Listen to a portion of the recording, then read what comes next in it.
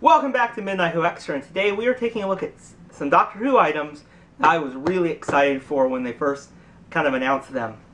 They are the new Doctor Who Target novelizations, based on, of course, stories from the new series, which I think is awesome. I really hope we do more of these. Uh, there's, of course, one more book based on the new stories, which is The Christmas Invasion, and there's also one based on the classic story of Doctor Who, City of Death uh, which I do not have yet. I might get those in the near future, but I picked up three of them to start. And I will actually review one of them today, um, which will be this one. So let's start with it, which is Rose. So there's the cover, which I think is a really cool cover. You got Rose, the Doctor, a couple of Autons, and a really kind of cool art style to them. I really do like it. There's the spine, and there's the back of it. Nice to meet you, Rose. Run for your life. This novel is based on a Doctor Who story which was originally broadcast on the 26th of March 2005, featuring the Ninth Doctor as played by Christopher Eccleston with his companion Rose Tyler. Now, of course, this is this book, this one right here, is about 197 pages. And this one is actually written by Russell T Davies, which I thought was really cool. The next one is the Day of the Doctor features the three Doctors in that story. The War Doctor, the 10th Doctor, 11th Doctor, and a Zygon and a Dalek. When the entire universe is at stake, three different Doctors will unite to save it. The novel is based on a Doctor Who story which was originally broadcast on the 23rd of November 2013. The Target logo on top, and it is just BBC logo on that.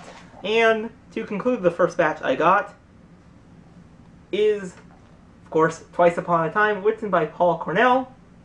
Silly Old Universe, The More I Save It, The More It Needs Saving. Based on a Doctor Story, which was originally broadcast on the 25th of December, 2017.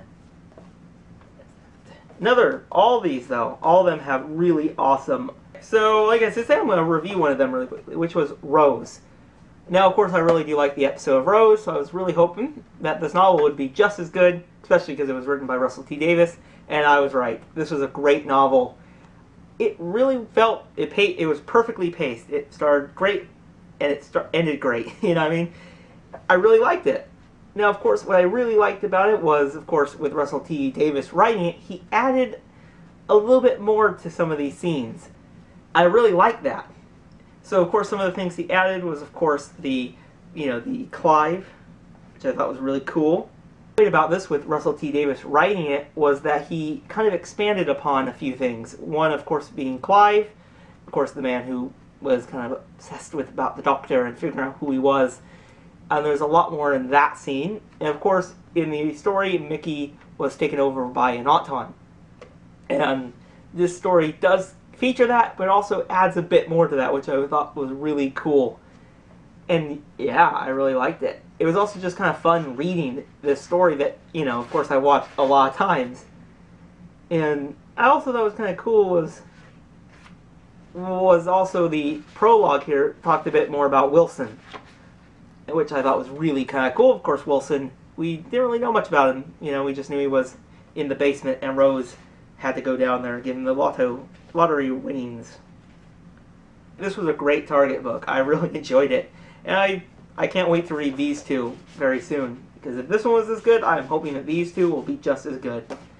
So that is it for tonight. I really hope you guys enjoyed this video. And of course, if you like this video, you can click the button that kind of looks like that. And click the subscribe button and that bell to see every single one of our videos every Monday and Wednesday at 7 o'clock Pacific time. I'll see you guys in the next one. Bye, everyone.